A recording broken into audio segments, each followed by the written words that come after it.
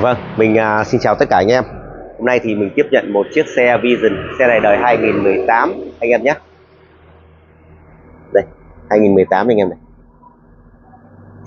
Vâng, chiếc xe này thì đặc biệt là số km rất ít, có 4.368 km thôi. Vâng, xe có thể nói là còn mới. Nhưng bây giờ thì xe lại bị một cái tiếng kêu rất là khó chịu réo lắm anh em ạ. Và mình có thể nổ máy để anh em thấy nha.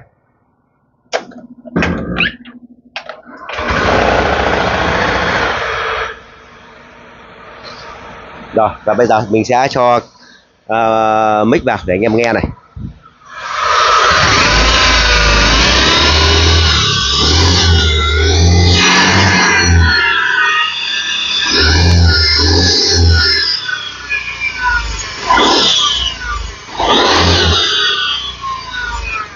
Và réo rất là ghê luôn. Thì khách hàng cũng đã mang ra Honda để bảo hành. Thế nhưng mà cái điều kiện không được uh, Honda bảo hành nữa bởi vì là số km thì vẫn nằm trong uh, điều kiện bảo hành nhưng mà số năm ấy thì lại vượt quá năm rồi. Anh em biết là xe này từ 2018 cơ mà. Đấy cho nên là bây giờ Honda không bảo hành nữa. Và khách hàng mang về chỗ mình để mình kiểm tra xem là lý do tại sao lại kêu như vậy. Và không thể chịu được luôn. Đấy mà xe đi có 4.368 km thôi, anh em nhé.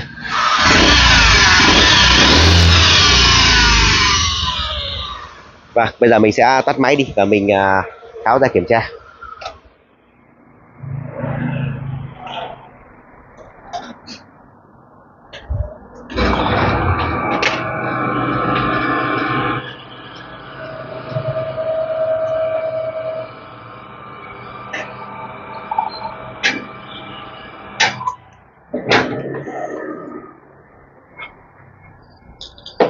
Mình à, tháo à, bường côn ra mình kiểm tra phần à, côn trước.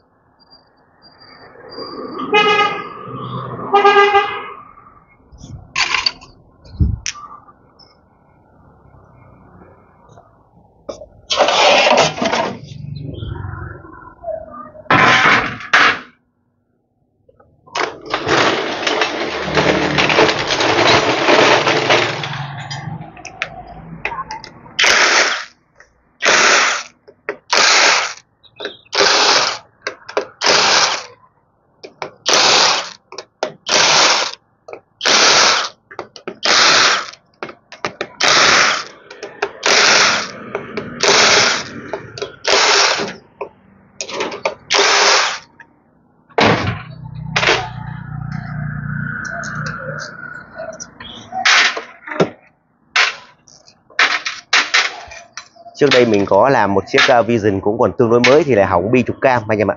Nhưng mà tiếng kêu nó kêu uh, cạch cạch hỏng bi trục cam, rất mới nhé hôm nay thì mình rất là tiếc mình không quay video lại.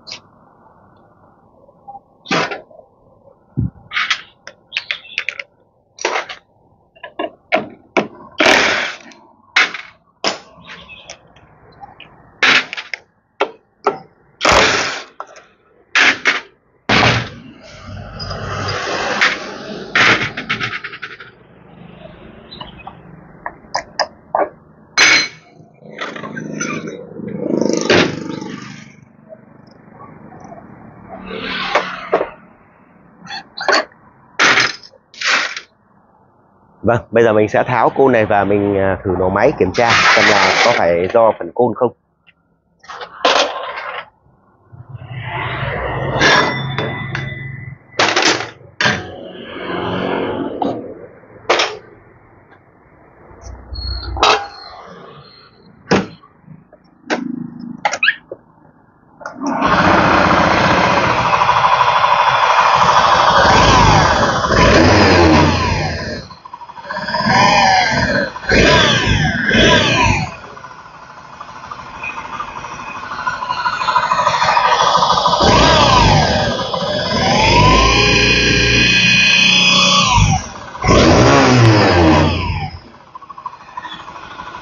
Nếu mà bỏ ra thì cũng không đến nỗi kêu như lúc nãy, anh em nghe đấy.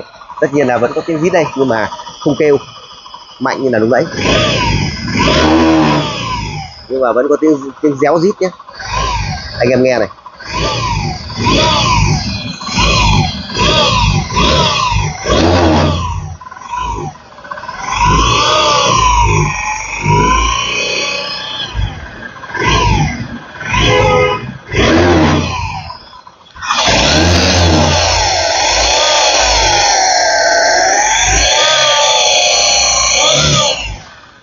Vâng vẫn tiếng réo rít.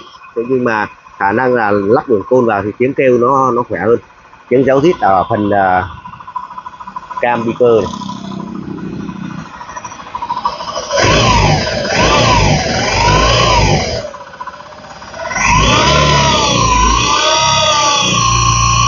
này. Đọc mình thì đấy nhá.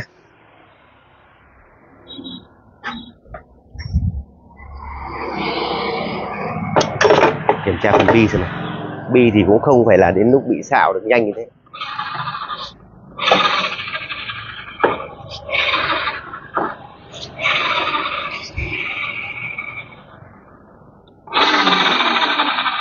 Rồi, nghe từng chừng cũng kêu lắm. Bi này cũng kêu này anh em này. Tại sao lại mới thế mà lại kêu được nhanh thế nhỉ? rồi mình quyết định mình à, thay vòng bi này trước anh em nhé mình sẽ thay vòng bi trước còn tất nhiên là có cái zit ở cái phía bằng đằng trục cơ này. Nhưng mà cái đằng này thì cũng kêu rồi cũng có tiếng zit này rồi.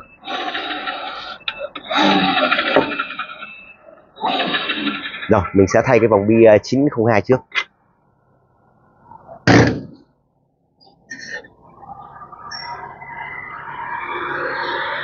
Nếu mà cho quay tay nhé thì không sượng như những cái vòng bi kêu uh, những cái vòng bi uh, sôi kiểu uh, 902 và vẫn anh em vẫn thay đâu 902 mình thay tương đối nhiều. Nhưng mà rất như này đã kêu réo rồi. Rồi, mình sẽ tiến hành mình thay bi trước để loại trừ anh em nhé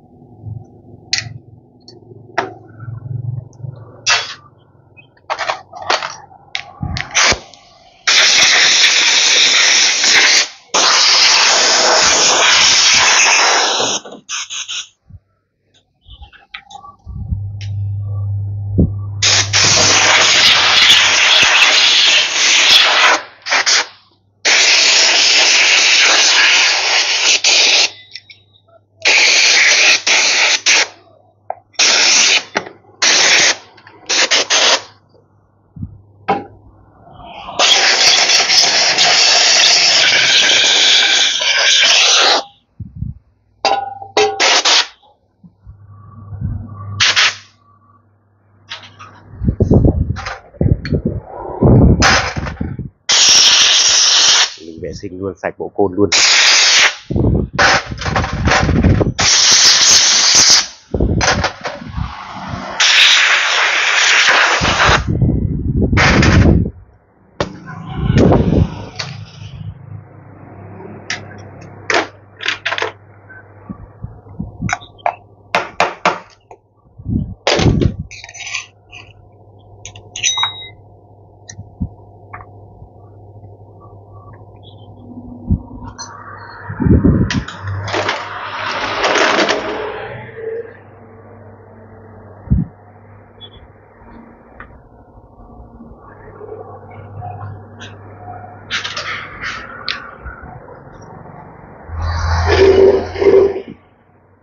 Thế là bố cháu hôm qua mang ra Honda là nó không bảo hành rồi à.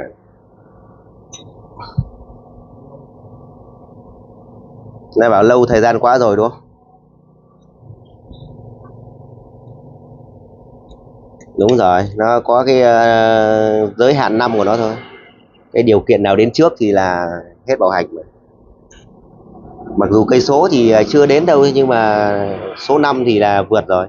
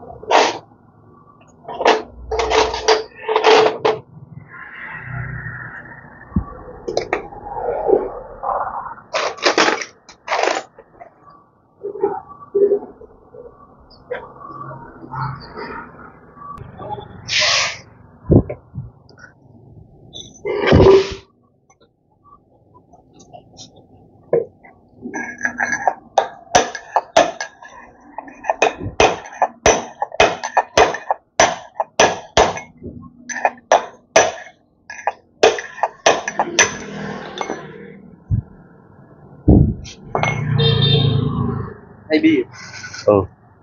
Hay cái vòng bi 902 xem thế nào này,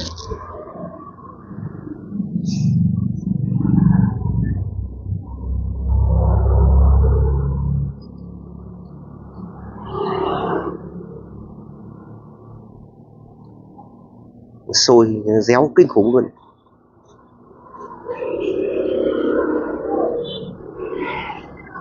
Là có hơn 4.000 cây. Xe thế.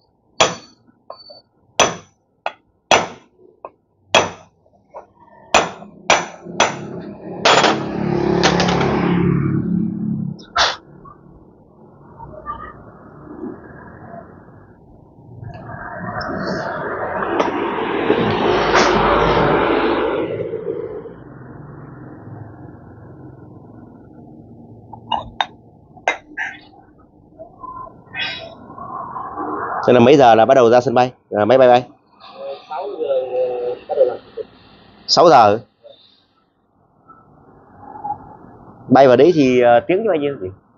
tiếng Tiếng luôn. lâu của Ai ai gọi đưa ra nào? Mình tạm dừng chút nhé.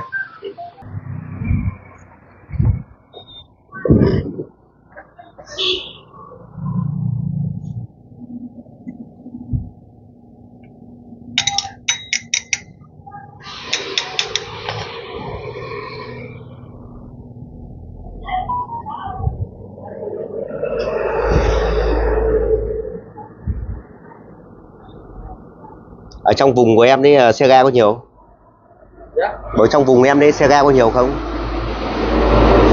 Ờ, mấy hai ba năm nay bắt đầu có. Bắt đầu có nhiều thì trên núi thì nó chậm hơn. Ở đấy là miền núi rồi đúng không?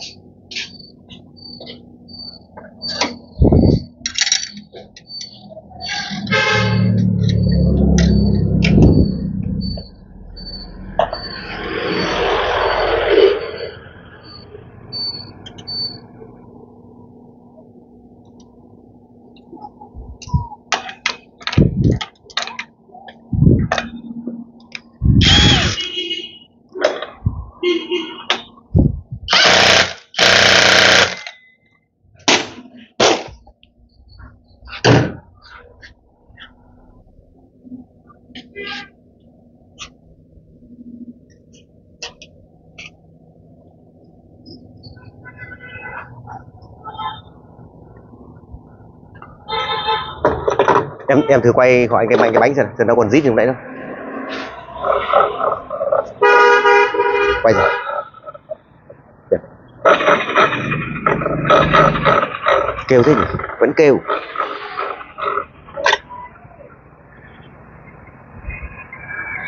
Chả nhẽ lại cái cả cái vòng ấy nè.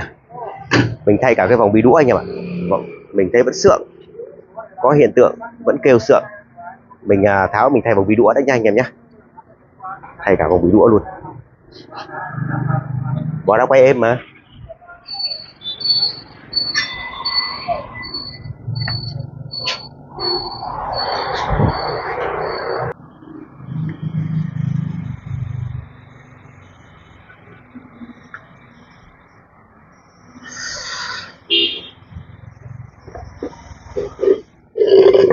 Thường thì à, anh em làm thì anh em biết rồi, đúng không? Đa phần là do kêu là cái uh, bi à, uh, 6902 thôi.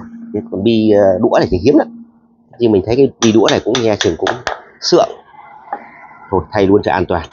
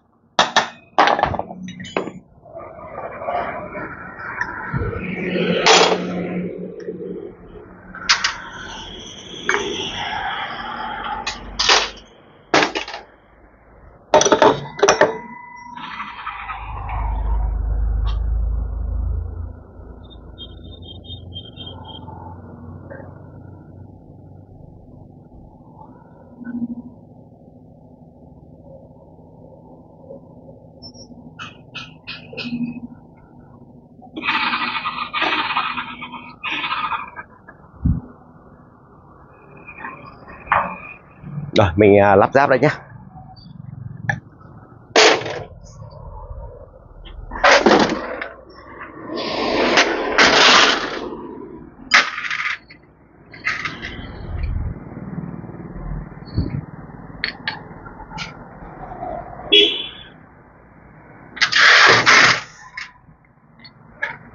cái chiều bi thì các anh em lắp được à, anh em cũng nắm được rồi tụi mình cũng chia sẻ mấy video rồi. Đấy, cái chiều đỡ đây anh em à, lắp sang bên đây nó, lúc nó quay thì nó đỡ sang bên đây anh em nhé.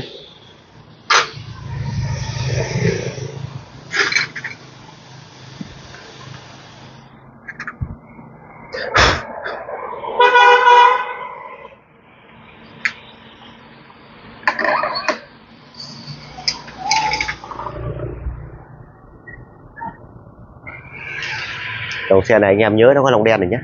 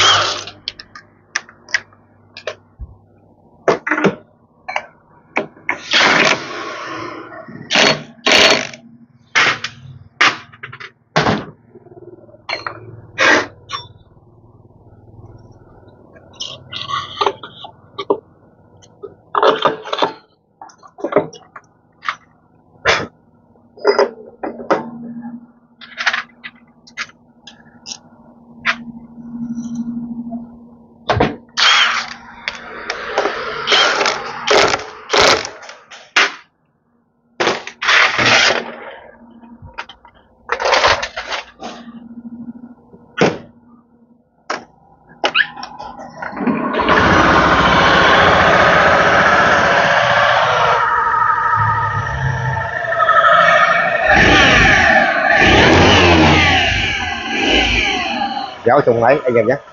Kéo trong máy là chủ yếu. Anh em nghe thì vẫn, khi mà dây cu loa lắp vào, nó sẽ kéo, nó kéo chủ cơ và nó sẽ có cái độ gần và lúc ấy nó sẽ gì? Kêu hơn.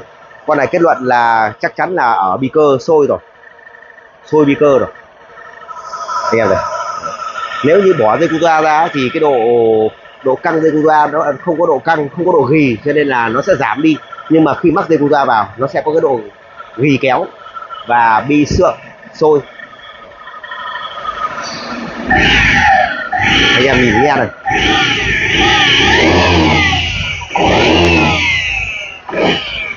Vâng mình cũng không hiểu tại sao một chiếc xe mới mà lại bị như này đúng không? Đấy, mà khách hàng này là cũng là dân gọi lái xe đấy. Đầu mẫu rất là cẩn thận đấy chứ không phải gì đâu. Dân lái xe chuyên nghiệp đấy anh em ạ vâng vậy thì xe này kết luận là không phải bên côn đâu mà nó do kêu ở phần bi cơ. Con này bị sôi bi cơ réo rồi anh em nhá. Đấy, cái này thì mình để mình lại phải thông tin lại với khách hàng thôi. Chứ còn ờ, giờ chiếc xe mới này mà tự nhiên này mới tinh này bổ máy thì nó hơi vô duyên đúng không anh em? Đấy, thì mình cũng ờ, thông tin lại cho khách hàng như vậy. Đấy, về giờ bi thì mình cũng thấy có nghi ngờ nhưng mà mình cũng không đến mức là lại bị nhanh những cái dòng bi này như vậy. Mình đã thử rồi. Đấy, nếu không mình sẽ lại giả lại bi cho khách hàng thôi anh em nhé Đấy, để mình thử như vậy để cho chắc chắn đúng không ạ? Để anh em nghe kêu cái này này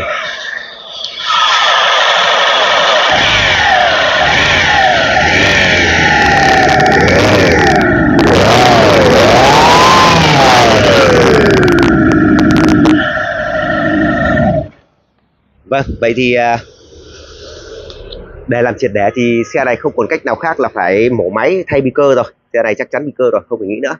Vâng vậy thì à, mình cũng làm đến đây thôi. Đấy còn à, có quyết định bổ máy không?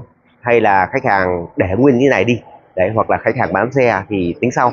Đấy còn nếu như khách hàng mà quyết định bổ máy thì mình sẽ tiếp tục mình lại quay video tiếp theo để mình làm hoàn thiện là đến cuối cùng căn bệnh này là sửa thành công. Đấy nhưng mà cái này phải phụ thuộc khách hàng rồi, rồi chứ không phải là do mình quyết định được anh em nhé. Vâng mình cũng xin kết thúc video này ở đây hẹn gặp lại anh em ở những video tiếp theo. Xin chào và hẹn gặp lại.